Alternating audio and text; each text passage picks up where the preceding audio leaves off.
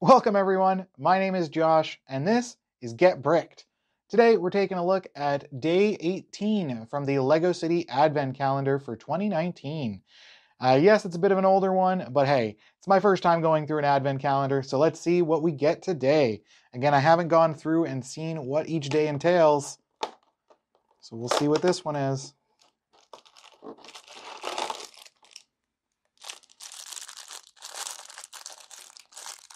Ooh, I know what this is going to be, I think. All right, let's take a look at the build. All right, let's dive right into this build and see what we're building today.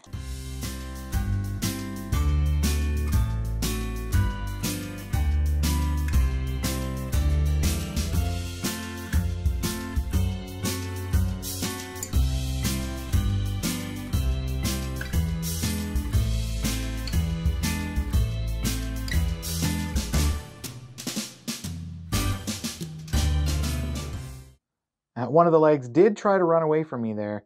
Uh, but as you can see, we'll, we'll move it in quick so we can get a good look at the detailing on this one.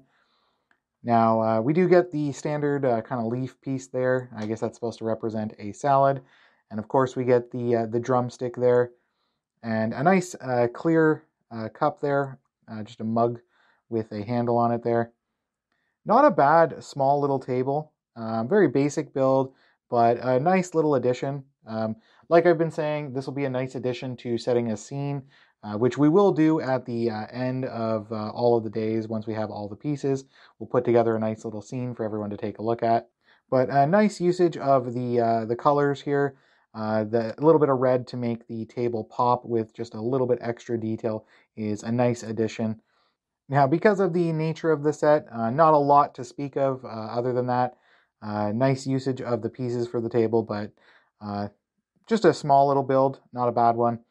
But that is going to do it for us today. Uh, thank you for joining me here today for day 18.